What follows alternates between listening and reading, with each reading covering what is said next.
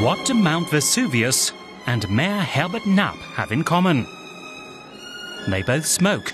Napp has been smoking in his office for years and, despite a ban, doesn't plan on stopping.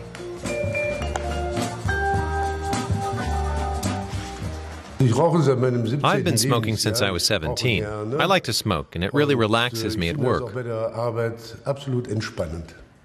it doesn't comply with the non smoking law. It's a protective law for non smokers. It's not to protect smokers from themselves. Manfred Wieske, an anti smoking activist, doesn't agree. Encouraged by the success of smoking bans in pubs, Wieske has decided to tackle the city mayor. Paragraph 3 Rauchverbot. Paragraph 3 Smoking ban. Within the framework of this law, smoking is banned in establishments referred to in paragraph 2, from number 1 to 8. But the mayor thinks he's found a loophole and has allocated his office as the smoking room, because according to the law, a smoking room is allowed.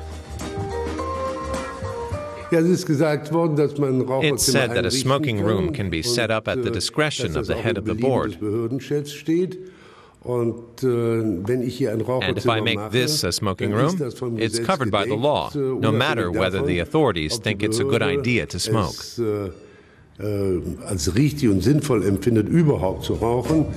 Napp is following in a great tradition of smokers like Winston Churchill, Ludwig Erhard, Helmut Schmidt, and Queen Margaretha of Denmark. But the anti smokers think the mayor should be subject to the same rules as everyone else. The town hall already has an allocated smoking zone which he is free to use, this small room. Sein Büro ist eben ein Büro, was von Besuchern, He has visitors, assistants, secretaries, and co workers coming into his office. besucht wird. Und das So he can't äh, declare it a smoking room. It's für sich in outlined very clearly in the law. klar vom Gesetz so geregelt. But what do the citizens of Neuss make of it all? Do they agree with the anti smoking activists? There are a few idiots who want to cause trouble. It's crazy. It's completely patronizing in my eyes.